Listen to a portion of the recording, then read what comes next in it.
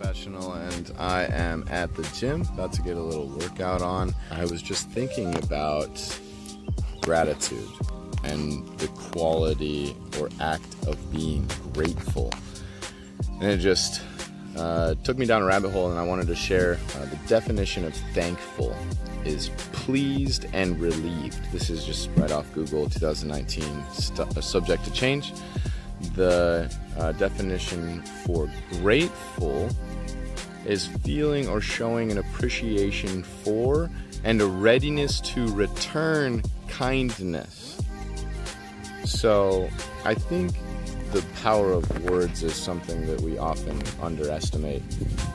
If we just look at that definition, how many times have you caught yourself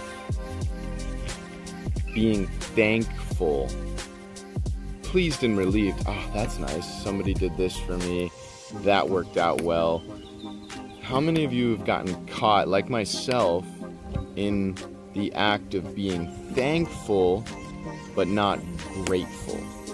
Stop and realize how lucky we are, right? The statistic one in X trillion probability of becoming a human being with the freaking supercomputer mind body system that we have.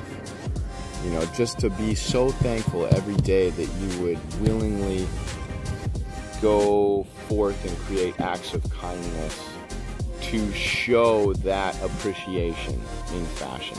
I think that's just so powerful. Maybe it doesn't resonate, maybe it's just a ramble for you guys, but that's okay because I'm still grateful for your participation, your perspective, and I will show that appreciation by continuing to make educational and reflective content for all of you. Much love. Be grateful, not just thankful, be grateful.